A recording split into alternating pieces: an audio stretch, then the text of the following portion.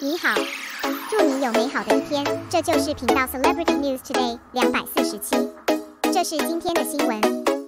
Xiao Zhan's works have won heavyweight awards again, and their excellence has been highly recognized by the Goose Factory. As we all know, Xiao Zhan, as an excellent young actor, his works have always been highly anticipated by the audience. After the broadcast, Xiao Zhan's film and television dramas can achieve I eye-catching results at every step. This is not only the best illustration of his popularity with the audience, it is also the best certification that he continues to prove himself with strength on the road of acting. Of course, in addition to proving himself with one work after another, Xiao Zhan's ability to carry dramas and outstanding talent and talent, hard work, etc. are all seen by everyone. Therefore, Xiao Zhan has also won more and more honors on the way forward. You must know that honor is not only the best recognition for an actor, but also the greatest encouragement to an actor. Because this is people's high affirmation of excellent actors, just like Xiao Zhan's Please Advise Me for the Rest of My Life recently. It is the same as winning the Business Breakthrough Award, the highest award in the film and television drama of the Goose Factory in the first half of 2022. This can be said to be the best recognition of Xiao Zhan's excellence by the top management of Goose Factory. In addition,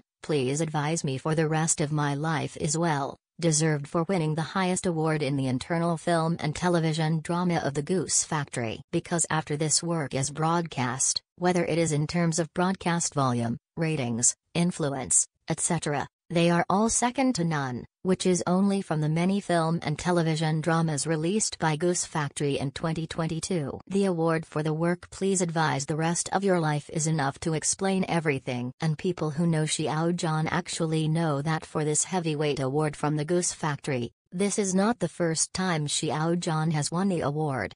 His work Chen Qing Ling has also won this award before. It has won the highest award in the Goose Factory twice.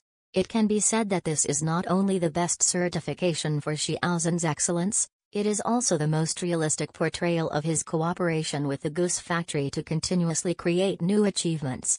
Of course, it is foreseeable that under the situation of such good cooperation between the two parties, with the cooperation between the two parties, Yu Gu Yao and The Sea in the Dream were released, in the future, both parties will continue to move forward on the basis of mutual benefit and win, win results, and create more dazzling achievements.